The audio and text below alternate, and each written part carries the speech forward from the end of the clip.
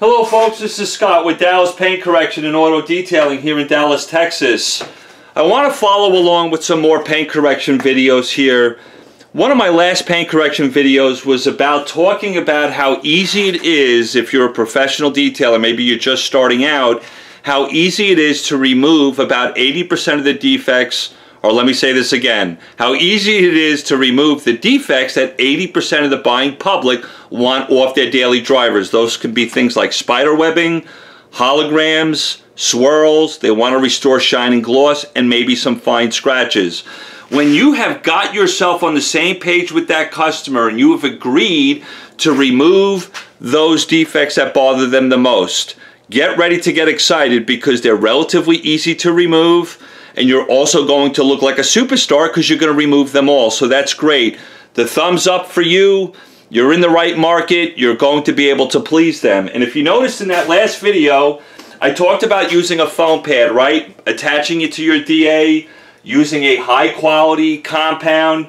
And what you're going to do is you're going to work in your 2x2 area, maybe do four or five section passes, very little pressure to no pressure need is needed if you're using a high quality pad and a compound to be able to get those defects off the paint that bother about 80% of the people out there on their daily driver. I want to talk about the microfiber pad versus the foam pad, right? So what we have is a foam pad. We already know this foam pad is going to be able to remove those defects that bother most people. It's going to do it relatively easily with a high quality compound. The microfiber pad, this is a little bit more aggressive, far more aggressive than the foam pad. This is a microfiber pad, happens to be made by Meguiar's. If it matters to you, I actually like Meguiar's cutting discs. They're better than other ones I've tried. I haven't tried them all, but this just works really well, so I stick with it. What I'm going to do, let's say I've got that agreement with one of my customers, which is going to happen almost on a daily basis. Scott, just get the spider webs off my car. Just get the light swirls off my car. Get the holograms off. Restore shine and gloss and get some fine scratches. That's it. That's all my daily driver needs. Once we have agreed to that, instead of using the foam pad, I might use a microfiber pad with a good compound. And when I use a microfiber, this is probably the only time I'm going to prime a pad in the real world of auto detailing. I do want every one of these fibers wet with the compound. It will travel ac across the paint a little bit easier. It's not as grabby. So probably this is the one time I would recommend you do prime the pad. So once I have it primed, I'm not going to change my philosophy like I, uh, I'm not changing my philosophy like the foam pad. I'm still going to apply the DA to the paint, little to no pressure, relatively low arm speed, and do that 2x2 area. I want to remove those defects I've agreed to faster. But even though I'm hanging out in that area for the same amount of time, I'm also doing something else that's very, very important if you do this professionally. We talk about over-delivering to our customers all the time.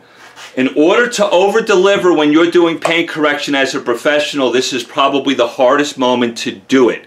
It's time consuming expensive tools, expensive pads, expensive compounds. That's why it's very important to make sure you're on the same page with your customer when it comes to what are the defects we are removing.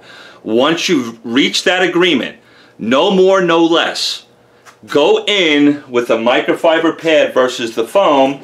Do your same section pass just like you do you would do with the foam to remove those five defects that bother most people the reason why I do this, it's an opportunity to over-deliver. My customer's going to come outside, look at the car and go, holy crap, Scott, you're right. Not only did you remove those five defects we've agreed to, the paint looks even better than you said it would. Well, that's not really true. I want to over deliver in the moment, but I don't want it to cost me more money. I don't want to spend more time on the car. This is not a moment you can do that. You've got to honor yourself don't throw yourself under the bus to, to over deliver when it comes to paint correction. Don't spend two more hours on the car over delivering because you're not honoring yourself. You're not respecting yourself. Make sure you've agreed to the defects you're removing from the paint. Those five I mentioned are relatively easy to pull off the paint. If you use a microfiber with that same philosophy as you would with the foam pad, By the time the customer comes out, he'll go, holy crap, Scott, it looks amazing. What does that translate to? Hey, my customer tells John, he tells Cindy, he tells Laura, I didn't charge him $1,200 to do his car. I was more appropriate for his budget for 80% of the buying public and I'm busy making money hand over fist and I've actually done I've actually removed some more defects off the paint than the foam pad could do although I didn't spend any more time doing it as if I was using the foam pad. So that's where the microfiber DA or the microfiber cutting pad comes really becomes really crucial if you want to over deliver as a professional when it comes to paint correction. Now, if you want to use this with a with an aggressive compound, apply pressure and real slow, low arm speeds and do five or six section passes in your 2x2 area, yes. Now we're talking about trying to get up to perfection, removing 90% of the defects off the paint. That's a different game a different price range. I kind of I hope that makes sense. When it comes to the microfiber cutting disc, the best way to clean these guys is with compressed air. I don't have compressed air available to me when I'm working mobily, but compressed air is the best. You can still use a pad conditioner brush to kind of clean it every time you go to your new 2x2 area. But again, for me, I want a lot of these available to me when I'm working on the car, maybe six or seven of these things, so I'm not spending time cleaning them. I can just move around the car pretty quick, and then I can clean them when I get home. Now, when I get home with these things and I want to clean them, again, because I'm using so many, I'm not going to have a lot of spent compound or a clear coat in there. I might blow it out because I have an air compressor available to me at home. I might spray some all-purpose cleaner on it, just get it moist again, and I will throw them in the washer machine with like a, a laundry detergent that has no dyes, no fragrances or fabric softener, something like All Clear. Tide also makes one too. I'll wash them in cool or warm water in the gentle cycle and let them get clean that way. I'll take them out of the washer and I'll let them dry on their own. That's how I take care of them. I hope that helps you out, guys. How to over-deliver as professionals when you've agreed to those five defects that are relatively easy to remove off the paint with a foam pad.